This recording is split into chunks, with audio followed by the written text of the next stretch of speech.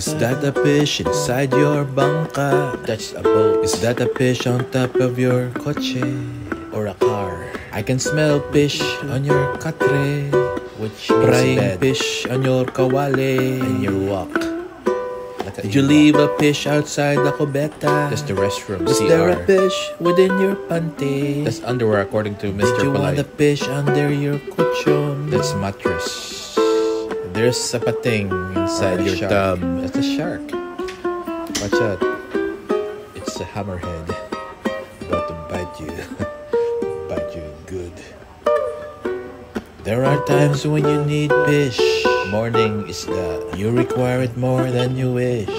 punta ka sa Baclaran. Sometimes you're rewarded by a nice wet kiss. Lambing lambing. But usually it's a hit and miss. Ang salwal mo ay TH.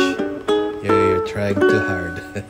your, your salwal is too too tight and you're just THing it.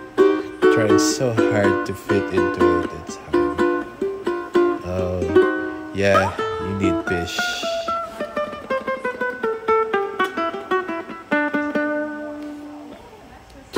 You want fish over That's chicken. manok. The smell is wafting in your They kitchen. gas stove or electric. Do you have onions and bits in MSG. There's a war between Biden and Putin. It's the Russian dictator. Have some fish thrown at you. That's how you catch it. melt the fish in your shoe. In your backyard.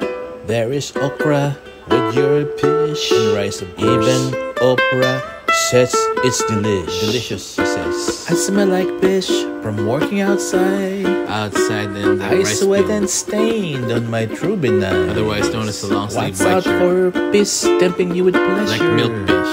You'll have sashimi beyond any measure. That's raw fish. I don't eat that because only only people who uh, can cook cook eat sashimi.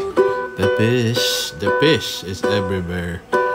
You know, if you have trouble eating fish, then don't eat it because it's probably not for you.